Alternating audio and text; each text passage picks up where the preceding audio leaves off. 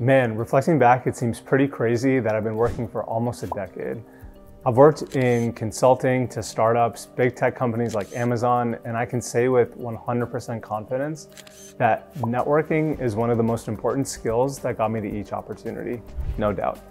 I also just spent the last two years supporting my wife on her MBA journey, and we'll be starting mine soon at Kellogg's Business School later this year. Despite being what I would consider a mediocre student in undergrads, I got my first job through networking and connections by starting the networking process as early as I could before graduating. Luckily, I'd worked every summer at different jobs and had some work experience that I could talk about. And even at my lowest career points, networking has helped me to get out of all of them. So here's five of my best networking tips for success that I can share. And what have you found helpful in your own journey? Leave a comment down below. I'd love to hear them. So first off, I think the purpose of networking is simply to help one another. Through helping other people, you're adding value to the network and the network is going to be there for you when you need it as well. My first tip is to be the host. Cook people dinner, have them over for drinks, whatever it is, just take the initiative. I used to get annoyed that I'd constantly be the one going up to people and introducing myself, especially when it felt like nobody else was doing the same thing. But I've come to learn that it just doesn't matter. I've honestly just stopped caring about it. And even if I don't know somebody really well, I just take the initiative and the first step to reach out. There's also this element of confidence that gets signaled to people when you take the initiative. So my second tip is to think about people as people. Don't think about people as potential opportunities or how can they help me. Starting with a people first, human to human mindset always allows for the natural organic stuff later. And after the interaction, I would feel like this weird expectation to act that same way in every future interaction with that person. Walking on eggshells is super annoying and just gets old after a while if I'm being completely honest. These days, I just want to know that I'm being myself and I'm being as authentic as possible. Authenticity really matters and people can see it a mile away when you're just trying to use them to get something. My third tip is to actively look for commonalities.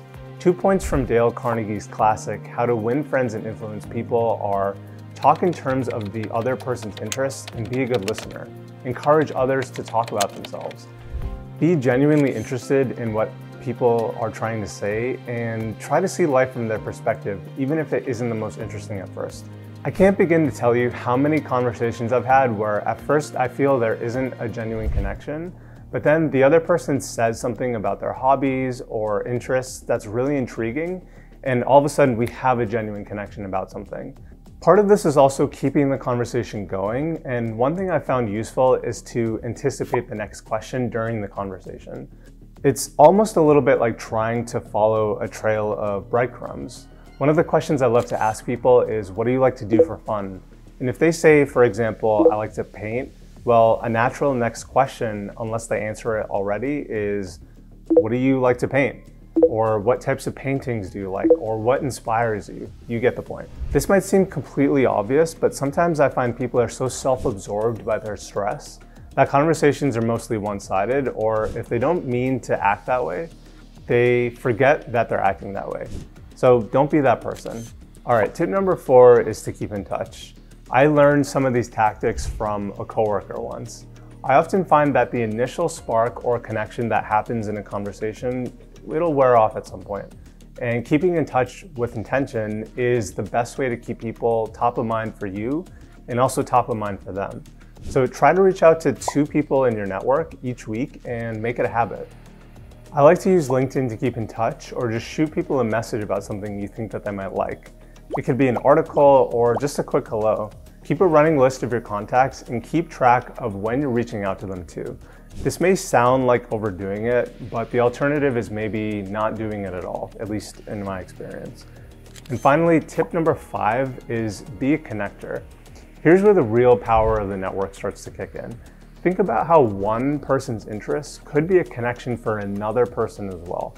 This is a continuous way to add value to people and make the network even stronger in the long run.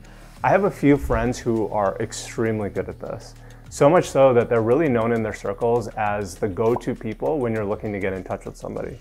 So what are your networking tips and what have you found helpful in your own journey? Leave a comment down below. I'd love to hear them. Thanks so much for watching. And if you found this one helpful, why not share it with somebody who you think might like it as well?